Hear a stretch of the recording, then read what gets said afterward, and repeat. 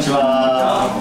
やっぱりこの採用難しいなって思われてる方すごく多いんじゃないかなと思いまして、まあ、このテーマで、えーと、お話をさせていただきます。まあ、採用を強くするには、やっぱりいろんなルートっていうのがあると思います。まあ、その中でも、えーと、私どもはロームタイトルにもあります通りロームを見直して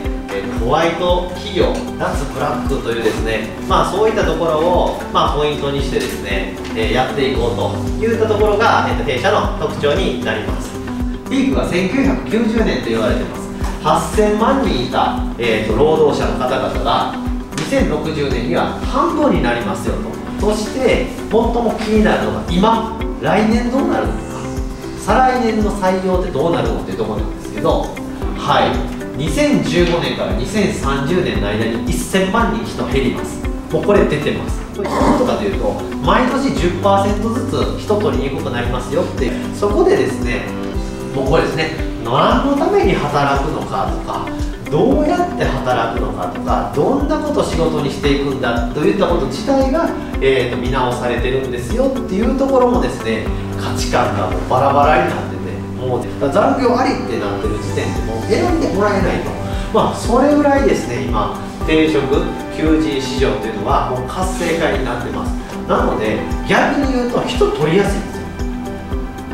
めちゃくちゃ人取りやすい人それだけ動いてるのでポイントとしては選ばれてないというですね、まあ、そこがあの非常にポイントになるかなと思うので選ばれる会社になると。そうじゃないと生き残れないっていうそういう時代になってきてます。はい。求職者のニーズやトレンドを意識した採用戦略立てていきませんかと。戦略ありますかと。とか、えーと、なんとかに任せてたらマジで人来ないです。ではですね、えーと、こういった形で5つのステップで業績アップを実現していきましょうというですね、えーと、弊社の方では労務監査というもの、えー、でいかがでしょうかという。最短最速といったところが、まあ、ポイントかなと思いますそしてやっぱり人権への備え労働基準監督官が来た時にもやってますよと。1000点満点中800点以上取れたお客様には有料企業証明書っていうのが発行されます。全国労務監査協会から御社何点ですっていう、まあ、証明書っていうものが発行されるのでこういうのをやってますよっていうのを実はやってたって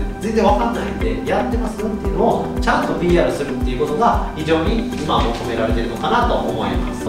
受け入れる側はよくしていけば